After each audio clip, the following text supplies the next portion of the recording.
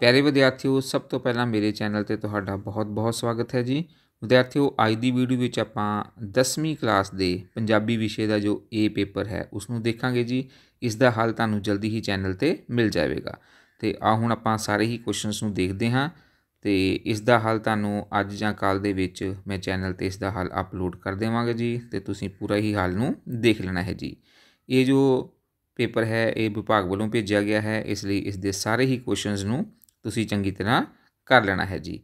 ਵੈਸੇ ਤਾਂ ਤੁਸੀਂ ਸਾਰੇ ਹੀ ਜੋ ਬੁੱਕ ਦੇ ਕੁਐਸਚਨਸ ਹਨ, ਸਾਰੇ ਹੀ ਉਹ ਕਰਕੇ ਜਾਣੇ ਹਨ ਜੀ, ਪਰ ਇਸ ਪੇਪਰ ਨੂੰ ਇੱਕ ਵਾਰ ਅੱਛੀ ਤਰ੍ਹਾਂ ਤਿਆਰ ਕਰ ਲੈਣਾ ਹੈ। ਇਸ ਦਾ ਜੋ ਹੱਲ ਹੈ, ਉਹ ਜਲਦੀ ਹੀ ਚੈਨਲ ਤੇ ਅਪਲੋਡ ਕਰ ਦਿੱਤਾ ਜਾਵੇਗਾ।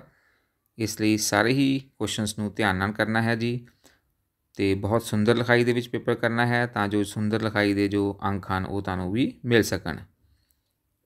ਤੇ ਤੁਸੀਂ ਹੁਣ ਪੇਪਰ ਨੂੰ ਇੱਕ ਵਾਰ ਨੋਟ ਕਰ ਲਓ। ਤੇ ਜਲਦੀ ਹੀ ਇਸ ਦਾ ਹੱਲ ਤੁਹਾਨੂੰ ਚੈਨਲ ਦੇ ਉੱਪਰ ਮਿਲ ਜਾਵੇਗਾ। ਤੇ ਹੁਣ ਸੁਣ ਆਪਾਂ ਮਿਲਾਂਗੇ ਜੀ ਇੱਕ ਨਵੀਂ ਵੀਡੀਓ ਲੈ ਕੇ, ਇੱਕ ਨਵੀਂ ਜਾਣਕਾਰੀ ਲੈ ਕੇ। ਉਦੋਂ ਤੱਕ ਲਈ ਧੰਨਵਾਦ। ਸਾਰੇ ਹੀ ਕੁਐਸਚਨਸ ਤੁਸੀਂ ਨੋਟ ਕਰ ਲਓ ਜੀ। ਤੇ ਜੇਕਰ ਚੈਨਲ ਨੂੰ ਤੁਸੀਂ ਹਜੇ ਤੱਕ ਸਬਸਕ੍ਰਾਈਬ ਨਹੀਂ ਕੀਤਾ ਤੇ ਇਸ ਨੂੰ ਸਬਸਕ੍ਰਾਈਬ ਕਰ ਦੇਣਾ।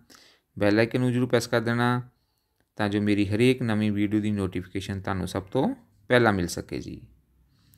ਹੁਣ ਸਾਰੇ ਹੀ ਕੁਐਸਚਨਸ ਨੂੰ ਤੁਸੀਂ ਨੋਟ ਕਰ ਲਓ ਜੀ।